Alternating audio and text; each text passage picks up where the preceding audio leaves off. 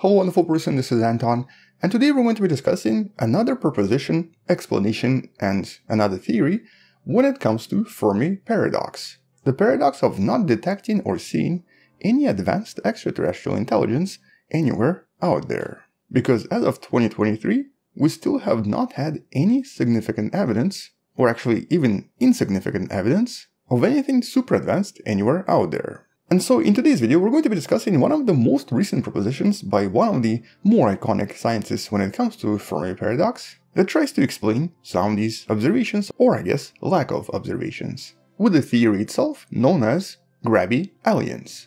A pretty unusual name, but I'm going to explain why it's called that in a few seconds. So first of all, this new idea is proposed by Robin Hanson, the same person who proposed the Great Filter back in 1998. You can learn a little bit more about this in the description below. And in his previous explanation, he essentially summarized the evolution of life and eventually intelligence as a kind of a step process involving several extremely difficult to overpass barriers that most life out there probably just does not pass. And he called these barriers the Great Filter. I mean, that's a very brief summary, but you can learn more about this in the description below. It's also to some extent based on previous propositions that we've discussed in one of the videos in the description that's sometimes referred to as the Hart-Tipler conjecture. The conjecture being that there are probably no aliens out there, because statistically they should be everywhere and we should be seeing them at all times, and some should have already arrived to planet Earth or even conquered the entire galaxy.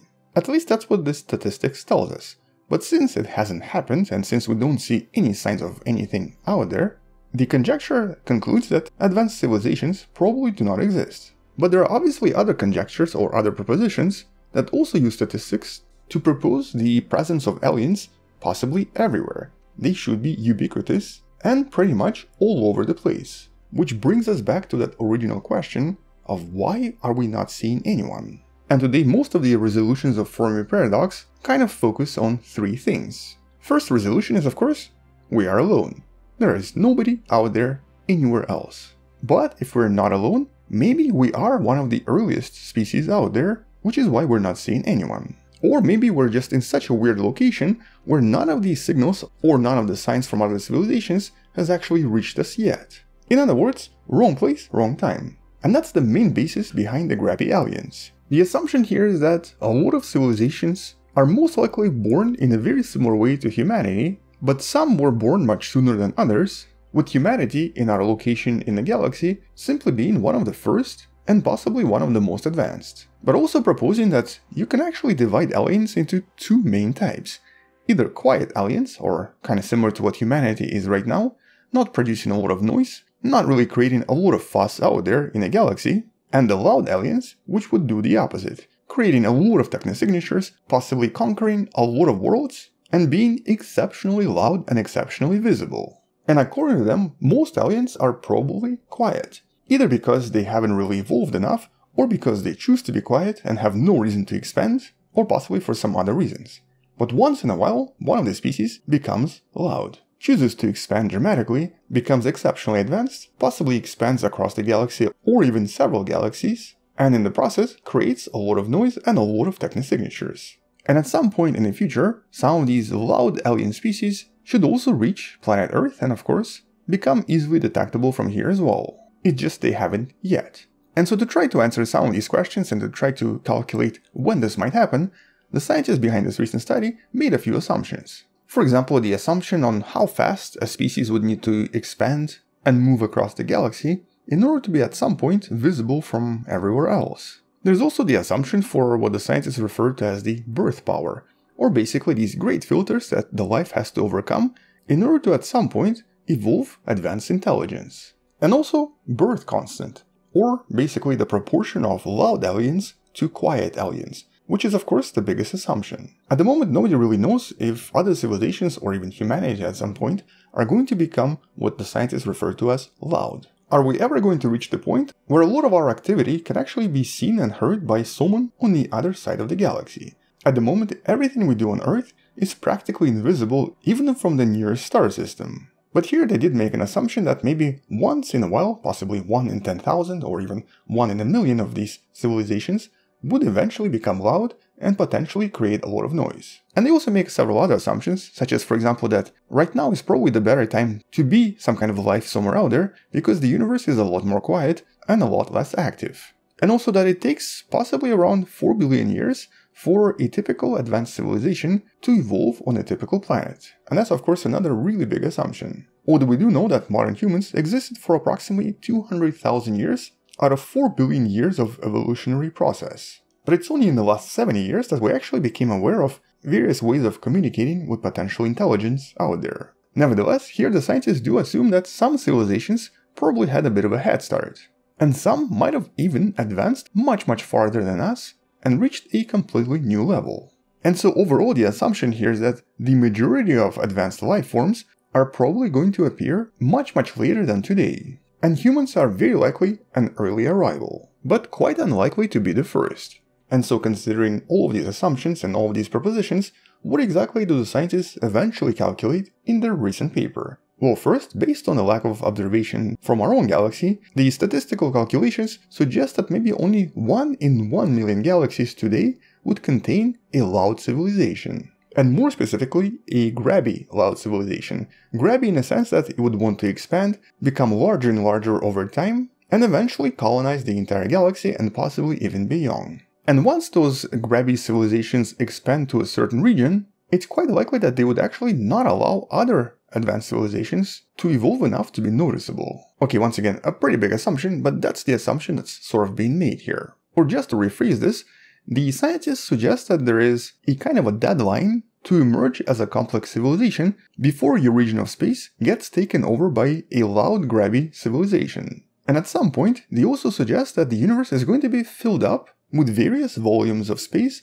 occupied entirely by that specific civilization. In this image you may see that it also forms a kind of a border. And here the scientists went a little bit further and even created a computer simulation demonstrating what all of this might sort of look like in real time, assuming that it actually does happen for the next few billions of years. And you'll notice that in approximately 10 billion years from now, pretty much everything becomes more or less occupied by someone somewhere out there. And at that point, no new space is available, and the entire visible sphere right here, with a diameter of about 22 billion light years, is essentially occupied by just 87 grabby civilizations. And all of this obviously looks like some kind of a space video game, like Stellaris or something, where a lot of different civilizations fight for space. But the main point here is that this is what they got from the simulations and from the calculations based on those previous assumptions I explained in the beginning. So basically some civilizations appeared billions of years ago, Many of them started a little bit later. Only one in about 10,000 or even less than that becomes a loud grabby civilization, essentially conquering the universe one galaxy at a time. And as they do so, they become extremely easily visible with a lot of signs of active technosignatures. What exactly happens to all those quiet civilizations that don't actually show any signs is not a question that's being tackled in this paper. They might become part of the empire, they might be ignored, or they might join the empire and become one of them. But I guess more interestingly, based on these parameters, if you look at the current universe, which is somewhere right around here, the assumption here is that at least half of the entire volume of the universe is already filled with various, potentially visible alien civilizations. It just, we are not able to see them because we're not in the right place. With some of these circles that you're about to see here possibly being much bigger than the full moon if we were to somehow see them in the night skies with each of them eventually controlling anywhere from 100,000 to possibly 30 million galaxies. That's a lot of galaxies. But the question here is, of course, when would we actually hear them or see them? Well, based on this model and based on all of these calculations, not anytime soon. It might actually take anywhere from 200 million to possibly 2 billion years for the nearest loud civilization to be detectable by Earthlings. And by then we might even become one ourselves. But I guess more importantly, at the moment, it looks like detecting any technosignatures according to this model would be practically impossible. So one of the conclusions from this paper is that SETI research might actually never find anything. But this study also suggests that it's quite likely that our galaxy might have never had these loud civilizations and might never even have one. Which means that by the time planet Earth can no longer support life, there might still be nothing visible or audible from planet Earth. So definitely a somewhat intriguing proposition and something that is worth exploring. But there are obviously quite a lot of criticisms and especially biased criticisms that need to be addressed here as well. And so let's address just some of them. For example, just like with other Fermi paradox propositions, the main weakness is the assumption of universal alien behavior. We kind of assume that everyone is going to act like humans, with the specific assumption being imperialism. We make an assumption that these allowed aliens would want to conquer the universe, or that half of the universe is already conquered. Now this might make sense if you're playing some kind of a space video game, such as, once again, Stellaris, where that is the main goal and that's how you get score, but realistically, even as humans, we don't always focus on conquest. For example, land grab usually only happens for specific reasons. Sometimes resources, sometimes religion, sometimes prestige. So a lot of the reasoning here is very very anthropomorphic, it's very human-centered. And so here, trying to understand the motivation for different alien species to conquer the galaxy or the universe should not really be approached from a human lens. I think a better approach would be to maybe look at something more primitive, like, for example, ants. Ants tend to actually colonize and tend to expand dramatically, but here this is very often driven by resources. So these aliens would have to probably have resources that they need from other stars, or even other galaxies. What exactly those resources would be is not really a question that's tackled here, and it's not a question that we can answer either. For example, right now on Earth, I can't imagine what we might need as a resource from, for example, a nearby Proxima Centauri. So the question of motivation is really important. But I guess that particular question could be answered if we made an assumption that these particular sentient species are no longer sentient, or basically they somehow lose their ability to think for themselves, once again kinda like ants, and instead become literally driven by colonization and expansion itself. In other words, there might be a species out there whose whole goal in life is to actually grow bigger. And these are definitely not the aliens we would want to meet because they would not want to communicate at all. As a matter of fact, it would be even difficult to call these aliens an advanced intelligence because in some sense they would maybe lose this intelligence as they would only want to propagate and grow larger. And at the moment this would make the most sense because if the alien species was still sentient and able to communicate, and eventually ended up colonizing several galaxies, there would be no practical way for these aliens to communicate with one another because of the speed of light limit. Okay, let me give you a clear example here. Imagine humans colonized the Andromeda Galaxy, and imagine the humans now would want to communicate with the Andromedans. It would take roughly around 5 million years for us to get the signal back from them. Physically, there's really no way for us to communicate faster than light, and it actually breaks a lot of different paradoxes, so it's practically impossible. In these 5 million years, the evolution would create a completely new species. And so here, communicating between galaxies would actually make no sense whatsoever. Likewise, traveling to these destinations would also be practically impossible. And so a lot of these grabby aliens would probably become pure replicators and completely lose intelligence and sentience. And if they do so, any civilization that forms within their vicinity, or any civilization that essentially forms after a certain point in the existence of the universe, is pretty much doomed. It's unlikely that they're going to develop into anything afterwards, because the replicators would very likely not allow it. But I guess the important part from this assumption is that they would also very unlikely want to communicate, because their main goal, their instinct, is to grow larger and to expand. So, an intriguing proposition, maybe a somewhat scary proposition, but based on the calculations, we have nothing to worry about for millions and millions of years. But also we're probably not going to find anything. But this is of course something that only relates to these loud aliens. It tells us nothing about the quiet aliens that could exist right here in the Milky Way that we're just not seeing or hearing, but that could actually communicate and maybe even want to communicate.